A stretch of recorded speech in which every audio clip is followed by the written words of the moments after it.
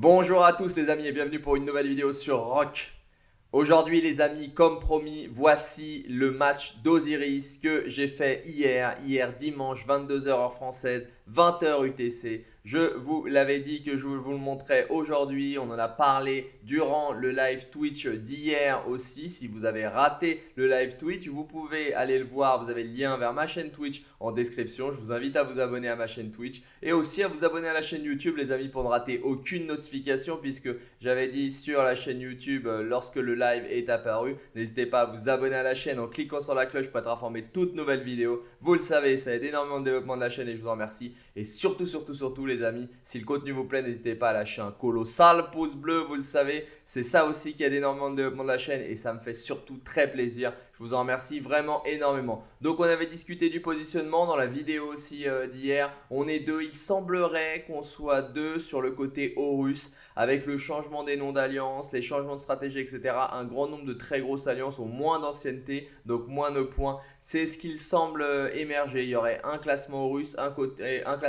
côté Anubis. Je n'ai pas trouvé d'autres alliances qu'une côté Anubis euh, qui était euh, numéro 2. Je n'ai pas vu d'alliance, disons, entre le serveur 1000 et 1400 qui était également numéro 2. Ça fait partie des indices qui nous ont dit ça. Et regardez, quand on regarde là en face de nous l'histoire du royaume, on est un royaume en face d'un royaume qui a 200 millions de moins que nous de puissance, 370 jours d'histoire. Donc, on s'est dit hier durant live que ça pouvait être le serveur de Legend Ronnie, le Z215 qu'on a déjà battu une fois il y a deux semaines. C'est pour ça qu'ils n'ont qu'une série consécutive. Donc, on va le voir très rapidement de 1. Et effectivement, on est face au Z415, zéro tolérance de Legend Ronnie. Donc euh, c'est le match retour, on va dire, la revanche de il y a un mois à peu près. Donc on sait qu'ils sont très forts, très puissants au niveau euh, du tombeau. Lorsque le tombeau pop, ils ont été très puissants. On avait gagné au maintien des structures et à la possession des structures et eux, ils avaient gagné les tombeaux. Donc j'ai pas rêvé, hein. c'est bien Ronnie, il a bien pris en puissance, hein. il a pris de près de 15 millions si je dis pas de bêtises euh, depuis, euh, depuis un mois. Ils sont bien montés. Sur leur alliance à présent, quand on les avait vus, ils étaient à 9 milliards 9. Là, ils sont à 10 milliards et demi. Ce qui est leur score s'ils n'ont pas de joueurs qui vont faire Osiris ailleurs. Donc, très gros match en perspective. On était très préparé pour ce match. Beaucoup plus encore que pour les précédents, même si on se prépare toujours bien. Vous le voyez, un 10 milliards 100 là, mais il va y avoir des joueurs ailleurs justement pour faire le tombeau dans d'autres alliances. Donc, Très gros match, ils vont avoir à cœur de se venger et donc nous, on a mis en place des nouvelles stratégies. En parlant de nouvelles stratégies, je vais vous passer le début de ce match d'Osiris puisque justement, il y a des choses en termes de stratégie que je ne dois pas vous montrer. Donc je vais vous passer tout le début, une petite partie hein, du début, une dizaine de minutes au début du tombeau, juste le placement, la prise des premiers bâtiments, etc.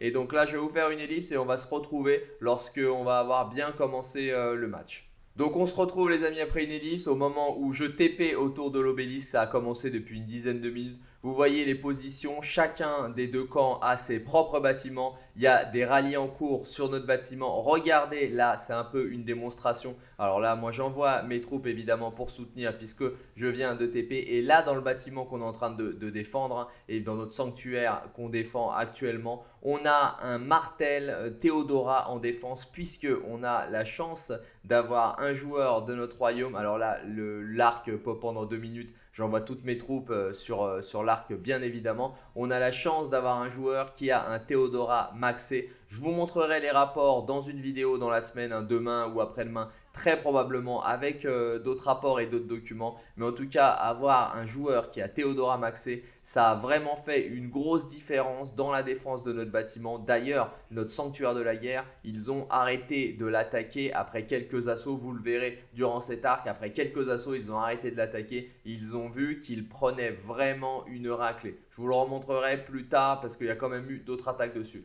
Donc, premier arc, je vous le rappelle, le dernière fois qu'on les a rencontrés, les zéro tolérance, donc vous voyez là, Attila, la vie, Attila, il se fait défoncer, il est presque mort, et euh, Martel, il est seulement à midlife. Donc leur rallye n'a pas été renforcé, notre bâtiment n'a pas été renforcé. Donc là, il se fait vraiment péter la bouche euh, Attila, Takeda. C'est très très confortable et ça sent très bon pour le KVK pour nous. Donc je vous le rappelle, la dernière fois qu'on a rencontré euh, Legend Ronnie et les, des zéro tolérance, ils ont perdu le premier arc et pris les deux suivants. Donc il y a eu trois arcs. ils en ont eu deux, on en a eu un et on a gagné au bâtiment de 2500 points euh, à la fin. On avait 2500 points d'avance, on avait 40 000, ils avaient 37 500 environ. Donc on se doute bien que là, ils ont bien retenu la leçon. Ils ont l'air en tout cas beaucoup plus préparés et euh, ils ont bien l'intention de gagner au niveau des bâtiments. Déjà sur cette première phase, si vous comparez avec la vidéo d'il y a un mois lorsqu'on les a rencontrés, ils sont beaucoup plus agressifs sur les bâtiments. Nous, à l'inverse, on n'a pas fait les erreurs de la dernière fois. La dernière fois, on s'était raté sur un de nos bâtiments, etc. Là, c'est pas le cas. On a bien géré le début de la partie. On le voit, hein, on gagne un petit peu. On a 700 points d'avance, donc on a été plus rapide que pour prendre les bâtiments. Ça se joue à ça, les 700 points d'écart, les 800 points pratiquement euh, qu'on a, qu'on a d'avance. Donc ça va jouer vraiment à des détails, il ne faut pas se rater. Donc là, c'est le premier arc qui pop, on le voit, on est plus nombreux que euh, sur ce premier arc pour le moment. Donc on les pousse devant, avant justement euh, le pop. Le fait d'être plus nombreux, ça nous aide beaucoup. On est bien en place, ils se buffent aussi, hein. nous aussi on est buffés. Donc on a, ils ont déclenché euh, leur buff, on l'a vu passer. Donc c'est vraiment du très gros combat. L'arc hip-hop, c'est nous qui le ramassons. Regarde notre troupe au nord, juste derrière la bannière qui dit que le tombeau d'Osis est apparu. On a vraiment euh, là assuré pour la prise. Ça a été vraiment une très belle prise. On a bien défendu devant. Donc ce premier arc, on a nos bâtiments, on est en place. Ensuite, on a pris l'arc, on va aller le poser. À aucun moment on est vraiment en danger là. On les tient bien à distance. Je pense que là, ils ont fait une erreur de placement. Ils se sont mis trop loin de l'arc ou ils sont arrivés un petit peu trop tard. Ils auraient dû se mettre devant. Nous, on était bien placés devant, placés en masse devant. Donc quand vous êtes en arc, c'est vraiment la stratégie à adopter pour rattraper le tombeau. Il faut vous placer devant et essayer de faire bloc. Deux minutes avant, il faut déjà commencer à faire le ménage. Si vous regardez les gros matchs de Ligue Osiris, tels que celui des HKL, des OV, des JWM, du 411K, ils font quand même le ménage avant et ça se frite vraiment fortement avant parce que la prise est importante. Donc nous, notre objectif, c'est le prendre et soit on a deux stratégies vu que la dernière fois qu'on les a rencontrés, ils ont été plus forts que nous dans la prise des tombeaux, soit on joue la capture du tombeau et on le pose pas, donc euh, après on va se cacher dans un coin et on pose pas le tombeau, soit on le pose direct et on essaye de passer en force comme on l'a fait la dernière fois, soit de prendre les autres arcs, soit de gagner au bâtiment, soit les deux.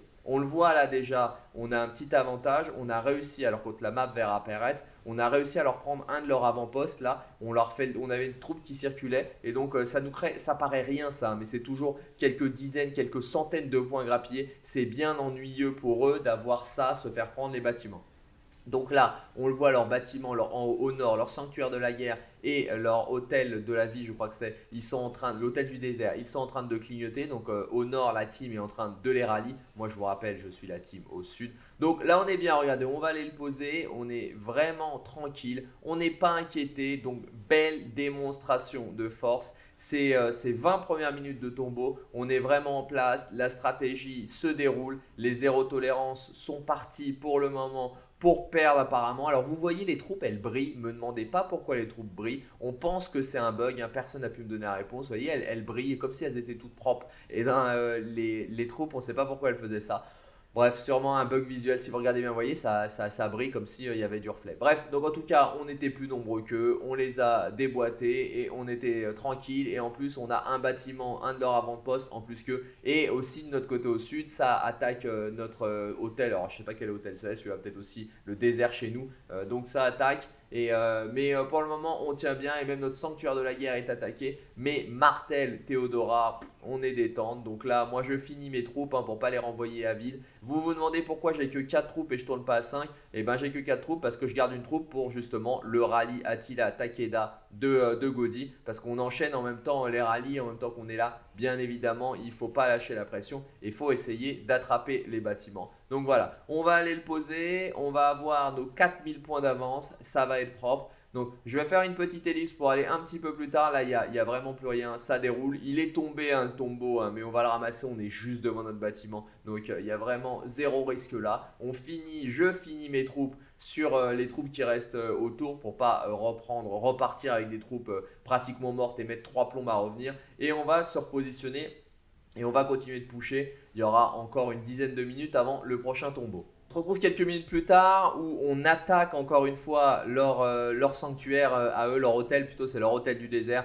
On l'attaque avec un Attila Takeda, on le voit. Alors là, ils sacrifient vraiment beaucoup de troupes. Ça va leur coûter cher en troupes. Ils swarment un rallye Attila Takeda. Là, faut vraiment avoir masse troupes, sachant qu'ils ont 200 millions de matchmaking en moins que nous. Donc, peut-être des moins gros joueurs, donc moins de troupes, ça va leur coûter cher forcément. Ils vont devoir soigner là en faisant ça. En tout cas, ils n'auront pas assez de troupes. Il faut surtout pas euh, faire euh, Swarm, un rallye euh, Attila Takeda, sauf si vous êtes vraiment rempli de troupes. quand vous avez un million et demi de chacune des unités, vous pouvez le faire, vous êtes détente. Mais si c'est pas le cas, faut pas le faire, sinon vous allez prendre ultra cher. Et nous, on Swarm aussi leur hôtel du désert. Donc là, c'est une phase où on leur fait très mal. On a pris, donc vous voyez, on a 4000 points d'avance. On a pris le premier arc, on a encore un bâtiment derrière, un avant-poste chez eux, on l'a. Donc on a pris le premier arc, on est en train de les tabasser sur leur hôtel du désert. Là, regardez comment leur martel, même s'il renforce, il se fait bien défoncer. Au nord aussi, les rallyes continuent. Donc on est vraiment très très bien parti. Ça fait 22 minutes que le tombeau euh, a commencé et on est très bien positionné. Mes troupes arrivent là, vous les voyez à droite. Hein. je revenais justement du tombeau, mes troupes les plus lentes. Et donc on continue, on swarm leur bâtiment. Regardez, il se fait défoncer. On est bien présent. Ils ont pris vraiment sûrement cher au centre, donc ils sont mal repositionnés. Ou sinon ils prennent tellement cher au nord qu'ils ont décidé vraiment de se focaliser dessus. Mais en tout cas, là au sud, nous on est bien, on a pris le bâtiment, vous le voyez, on l'a pris. Donc ça leur fait perdre énormément de points euh, de perdre un bâtiment comme ça. L'hôtel du désert, une fois qu'on l'a pris, stratégie classique, hein, tout le monde fait ça. On fait le ménage autour, là il n'y a pas de surprise, il n'y a pas de secret stratégique. Quand vous avez un bâtiment, vous faites le ménage autour. Moi je regarde les unités que j'ai dans le bâtiment car j'ai que 20 000 euh, cavaleries dedans, mais il fallait bien que je laisse ma cavalerie. Donc je vérifie pour pas faire de conneries là à ce stade-là. Et voyez au nord, ça clignote aussi, ça continue d'attaquer. Nous aussi, hein, ça clignote sur nos bâtiments, ils nous attaquent nos bâtiments. Mais en tout cas, là, on est euh, à quelques minutes du pop, 5 minutes exactement, 0,4, 0,3 du pop euh, du prochain arc. Et on est bien positionné. On a deux bâtiments d'avance, mais ils viennent de nous reprendre notre hôtel du désert. Regardez, notre hôtel du désert, ils viennent de réussir à le prendre à droite, à gauche, pardon, euh, à gauche, ils viennent de réussir euh, à nous le prendre. Donc, on est de nouveau équitable en gros bâtiment et on a toujours leur avant-poste. Leur avant-poste, ils nous le laissent. Hein. Ils ont du mal à aller nous le rechercher. En tout cas, on est bien, on est faiblement dans leur bâtiment là. Donc, il faut vite qu'on le renforce si on veut pas. Donc, ça renforce immédiatement. Si on veut pas le perdre parce qu'il pourrait le soir m'envoyer un rallye dessus.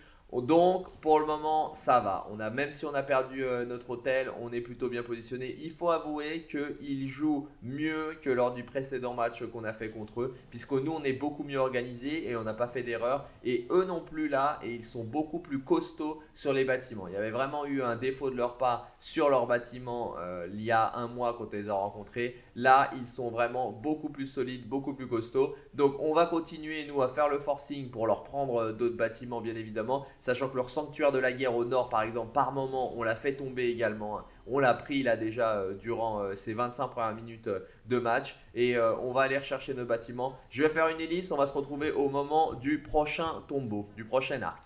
Donc on se retrouve quelques secondes, 30 secondes avant le pop de l'arc et vous le voyez là, ils font pas, donc c'est le deuxième, le deuxième tombeau hein, qui arrive, ils font pas la même erreur, ils sont euh, déjà, nous on était en retard, hein, faut, bien, faut bien se l'avouer, mais en tout cas ils sont devant et ils nous repoussent, ils nous empêchent de venir. Donc là, ils ont une très nette euh, stratégie qui a évolué. Là, clairement, ils nous ont bien repoussé. Ils se mettent devant. Ils font exactement ce qu'on leur a fait juste avant. C'est ce que je vous disais. C'était la bonne technique. Là, ils se sont réorganisés et malgré le fait qu'on les a bien embêtés sur leur bâtiment, ils sont plus présents. Et si vous regardez la, map, hein, on est retourné à ISO bâtiment. Donc chacun a récupéré ses bâtiments, sauf encore une fois leur avant-poste. On, on leur prend des avant-postes tranquillement. Et ça, ça leur coûte des points. Et regardez, avant la prise et la pose de ce tombeau, on a 5000 points d'avance, 4800. On a déjà fait la différence sur les bâtiments. Donc on est vraiment plus costaud que sur les bâtiments. Donc eux, il faut qu'ils jouent le tombeau à mort. Il faut qu'ils tiennent leur bâtiment. Il faut qu'ils jouent le tombeau s'ils veulent revenir vers nous. Donc là, on le voit, le tombeau, il est neutre, il vient d'apparaître. Ils sont en meilleure position que nous pour euh, le prendre, bien évidemment. Nous, on donne tout, hein, on avance, on lance nos troupes, mais on est en retard, forcément. Et ça, ça se paye. Donc eux, ils sont bien, ils ont des Attila Takeda dans tous les sens, d'ailleurs au passage. Ils viennent de le ramasser, là, malheureusement pour nous. Là, ils nous font une démonstration de force. Franchement, là, c'est... Euh, là, on n'a rien pu faire. Clairement, je le, disais euh, en vocal avec mes guildmates, hein, ils ont beaucoup mieux ravitaillé euh, leurs troupes euh, au centre que nous.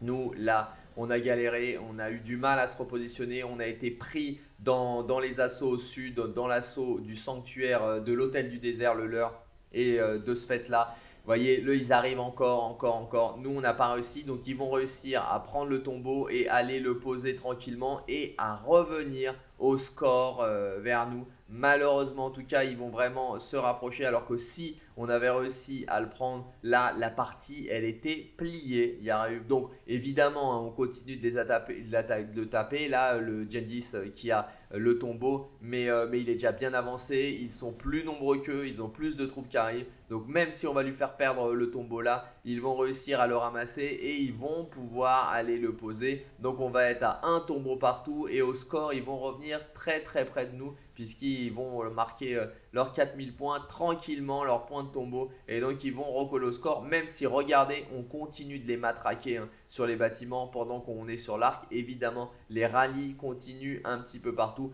Là, le tombeau, comme je vous ai dit, est tombé, mais il va être ramassé, hein, il n'y a pas de doute. Là, notre, on a voyé, je vous, dis, je vous le disais, on a lancé un rallye à Tila on a perdu. Donc là, on est un petit peu dans le creux de la vague. On est dans une phase où on dominait, on gérait bien. Et là, c'est notre adversaire hein, qui, euh, qui commence à faire la différence. Donc on a près de 5000 points d'avance. Donc si on se ressaisit, ça devrait le faire. Mais en tout cas, voyez là, ils sont massivement là. Nous, on peut rien faire. On est beaucoup moins mobilisés que sur cette zone-là. Et donc euh, forcément, ils nous tabassent. Forcément, ils ramassent l'arc et ils vont aller le poser tranquillement. Je fais une nouvelle ellipse. On se retrouve un petit peu plus loin dans la partie.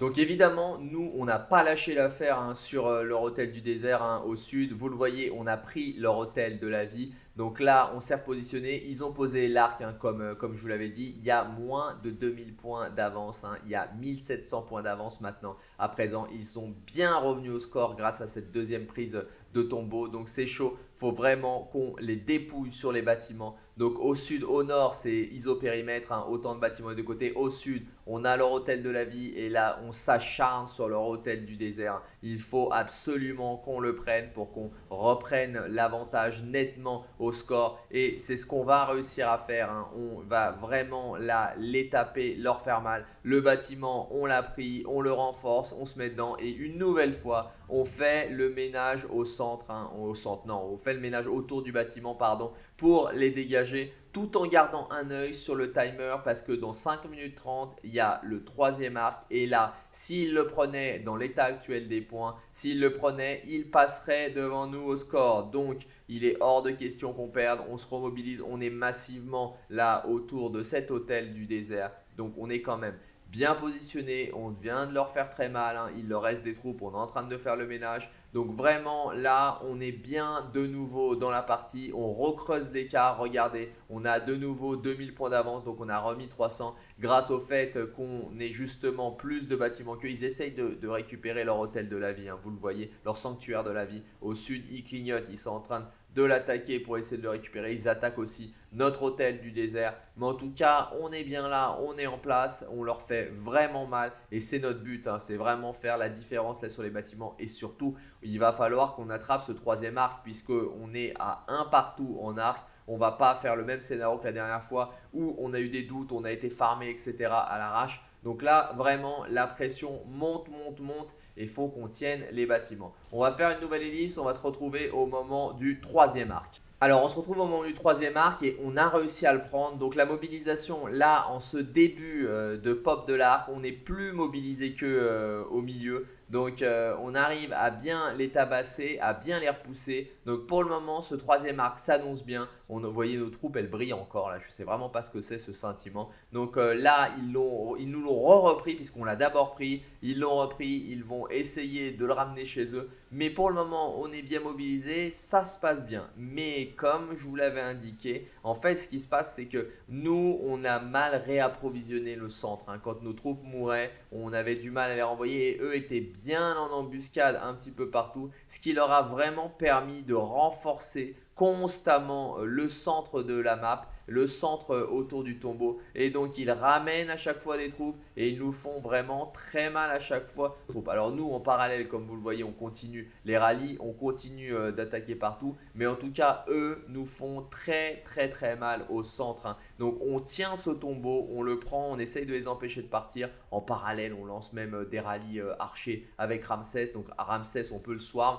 mais sinon il fait très très mal si on ne le swarme pas justement sur un bâtiment. Et donc là, nous, on essaye de tenir, mais il n'y a rien à faire. Ils sont vraiment au centre de la map, beaucoup plus forts que nous sur, euh, sur les tombeaux. Donc encore une fois, on avait 4500 points d'écart et la différence là, ça va être les bâtiments puisqu'ils vont poser cet arc, ils vont réussir à le prendre et ils vont réussir à le poser. Et le problème, le problème, c'est qu'ils vont le poser plutôt rapidement. On a mis euh, beaucoup d'efforts pour ne pas réussir finalement ni à le gagner, ni à les ralentir. Et donc, ils vont avoir la possibilité de poser un quatrième arc. Et donc là, si le quatrième arc euh, pop et il le pose, ça va nous faire très mal. Donc même si on a le sanctuaire de la guerre chez eux, vous le voyez en termes de bâtiments, on a l'avantage, c'est pour ça qu'on a euh, près de 5000 points, entre 4 et 5000 points d'avance. Ils sont quand même dans la place et ils nous font vraiment bien mal au centre. Je fais une dernière ellipse, on se retrouve vers la fin de ce tombeau d'Osiris et vous allez voir que la fin a été très très tendue. On se retrouve en pression maximum là. On est à 1 minute du pop de l'arc, à 4 minutes 40 de la fin de la partie. On a moins de 3000 points d'avance. C'est-à-dire, s'ils prennent l'arc et qu'ils le posent rapidement dans les 4 minutes 30 qui restent, donc ils auront 3 minutes, 3 euh, grosses minutes pour les poser, 3 minutes 20. S'ils le posent, ils gagnent probablement la partie. Donc là, à ce stade-là, on a moins de 4000 points d'avance. S'ils le récupèrent, c'est mort pour nous. Au niveau des bâtiments, vous le voyez, on est toujours à isopérimètre. Hein. Ils ont bien récupéré à chaque fois leurs bâtiments. Même si on a réussi à leur voler beaucoup plus de fois qu'ils n'ont réussi à nous prendre nos bâtiments. C'est bien pour ça d'ailleurs qu'on est en tête au point malgré qu'ils aient posé deux arcs. Et en plus, je ne sais pas si à ce stade-là, ils ont des farms. Donc c'est très tendu. Vous voyez, on se retrouve avec 4000 points pratiquement tout rond d'avance. Et là, ils sont une nouvelle fois massivement là au centre mais nous aussi, on est arrivé un petit peu plus tôt cette fois. On est aussi là, on est prêt à faire le nécessaire pour ne pas les laisser gagner ce quatrième arc. Nous, tout l'enjeu est là. Si ne le on n'a même pas besoin de le prendre et de le poser. On a juste besoin de les empêcher de le poser. Donc voilà, il reste 3,37 et là, l'arc est neutre qui va le prendre? Donc déjà, celui qui le prend en premier peut le prendre et l'emmener. Sachant que celui qui le prend, avec le bordel et le nombre de trous qu'il y a là, c'est quasiment un mort instantané, que ce soit chez nous ou chez eux. Donc voilà, là, c'est chez eux que l'arc a été euh, rapporté, qui a été attrapé. Vous allez le voir, il va pas faire long feu le premier qui le ramasse. Donc, euh, puisque tout le monde clique dessus euh, pour le tabasser. Vous le voyez en tout cas, c'est très fluide. Moi, j'ai pas de lag. Vous voyez, il a tenu 13 secondes le mec avec l'arc. Il s'est bien fait déboîter. Et donc, l'arc est de nouveau libre. On va pouvoir le ramasser ou ils vont pouvoir le ramasser. En tout cas, gros combat. 3 minutes il reste. Ils ont 3 minutes pour le prendre et le ramasser. Là, ça commence à être très compliqué pour eux. On a un peu moins, regardez, ils sont revenus au score. Hein. On est passé de 4 à 5000 à moins de 2500 points, moins de 2500 points au score. Donc ils ont des farms qu'ils ont dû rentrer. Non, je dis une bêtise, on est repassé à plus de 3000 là, mais ils ont quand même des farms qu'ils ont dû rentrer pour justement refaire, recompenser encore cet écart. Et c'est nous qui avons ramassé l'arc et vous le voyez, on est en train de tranquillement de se diriger au nord et ça commence à être compliqué pour eux puisqu'il reste 2 minutes 30 avant la fin de la partie et ils ont plus de 2000 points de retard. Donc maintenant, il n'y a plus de mystère. Soit ils ont des farms, ils les rentrent et ils gagnent la partie puisque nous là, on les avait déjà récupérés, euh, nos farmers soit une nouvelle fois on bat la team de Legend Ronnie. Donc là, il n'y a pas de, surprise, il n'y a pas de scénario euh, catastrophe autre que le fait s'ils ont des farms. Donc c'est leur seule alternative puisque on a réussi à faire la différence. Et je pense même que si la partie continuait, c'est nous qui aurions posé ce tombeau, puisque regardez, on le ramène chez nous petit à petit. On les aurait eu euh, à la force là, à l'arrache on aura eu ce dernier tombeau. On ne le saura jamais, malheureusement, parce que, ou heureusement, puisqu'il reste qu'une 40 de, de partie et euh, on n'aura pas le temps de le prendre et le mais eux non plus. Donc là, maintenant, nous, pour, nous, on sait qu'ils ne pourront pas prendre le tombeau et le poser. Tout l'enjeu est de tenir les bâtiments, de continuer d'attaquer les bâtiments et de vérifier, de rentrer nos farmers pour farm, farmers pour tenir nos 2000 points d'avance. Je vous le rappelle, la dernière fois qu'on les a rencontrés, on avait fait 2500 points d'avance. Scénario équivalent en termes d'arc, on avait pris le premier, ils avaient pris les deux suivants et on les avait bien maltraités, tabassés sur la prise des bâtiments et la tenue de nos bâtiments comme de leur, de leur bâtiment. Donc là, vous le voyez, l'arc est de nouveau neutre, il le récupère, mais ça sert vraiment à rien. Là, c'est vraiment euh, de la, bataille, du fight pour faire des points. Il reste 50 secondes, 50 300 points à ce stade-là, encore une fois. Je suis content hein, parce que c'est fluide. Euh, il y a beaucoup se plaignaient des lags euh, hier. Moi, j'ai pas ce problème-là, encore une fois. Je suis sur iPad Pro pour ceux qui se demandent. Il n'y a pas de lag, on est fluide il reste, et pourtant là, Dieu sait qu'il y a quand même euh, de quoi euh, faire laguer euh, pas mal de smartphones ou de, de PC quand on est sur émulateur. Il reste 30 secondes, on est confortable, on est bien positionné, on a toujours notre avance de pratiquement 2300, 2400 points, donc une avance équivalente en fait au dernier match où on a gagné contre les Z215, donc on est vraiment bien. Là, à ce stade-là, plus de surprise. Vous voyez, il y a le petit bâtiment à saison 2 HKL. Hein. on voit le petit bâtiment des HKL au passage. Euh, il est bien apparu là sur la 2. Jamais fait attention de le voir en vous commentant la vidéo d'ailleurs. Donc voilà, c'est fini. On a gagné 2500 points d'avance une nouvelle fois. Un tout petit peu moins de 2500 points d'avance. Le premier est Moonshade. Bien joué à lui, Moonshade. Euh, C'était Legend Ronnie la dernière fois. Donc euh, c'est bien. On a gagné et on a le joueur qui a fait le plus de points. Vous le voyez, nos 2300 points d'avance cette fois. Regardez ce que je vous disais, les unités soignées. 5 millions pratiquement d'unités soignées pour eux. Donc vraiment, soit armés des rallyes Attila, ils ont déconné, ça leur coûte cher en soins. Alors ils s'en foutent, hein, s'ils ont à euh, se payer les soins à mort, ils peuvent soigner, mais en tout cas 5 millions de soins, c'est un vrai problème qu'ils vont devoir euh, résoudre. Ils vont devoir avoir plus de troupes pour pas avoir à soigner. Et l'occupation, on a plus de 7000 points d'avance euh, sur eux, sur le score d'occupation. Donc on a été très très bien au niveau euh, de mon positionnement. Moi, j'ai fait une, euh, bonne partie. Euh, j'ai mis du temps à appliquer cette nouvelle stratégie, mais je suis content de mon score. Si je dis pas de bêtises, je suis à 79 000 ou 80 000 points et je suis 14e. Donc, je suis plutôt dans la moyenne de, de l'équipe. Ça, je ne lance pas de rallye. Voilà, 73 000 points, 14e. Je suis bien positionné, ça me convient. Donc, j'ai fait une bonne partie. On a gagné une nouvelle fois contre Oni et c'était vraiment un match ultra intéressant, ultra tendu. Voilà, écoutez les amis, j'espère que cette vidéo sur mon tombeau d'Osiris une nouvelle fois contre Legend Ronnie vous aura plu. Si c'est le cas, comme d'habitude les amis, comme d'habitude, qu'est-ce qu'on fait? On lâche un colossal pouce bleu, vous le savez, ça fait très très plaisir. Ça me fait vraiment plaisir les amis. Et surtout, ça aide énormément le développement de la chaîne. Et si ce n'est pas encore fait, n'hésitez pas à vous abonner à la chaîne en cliquant sur la cloche pour être informé de toutes nouvelles vidéos. Je vous souhaite un bon jeu à tous, prenez soin de vous, faites bien attention à vous, et je vous dis à plus sur Rock.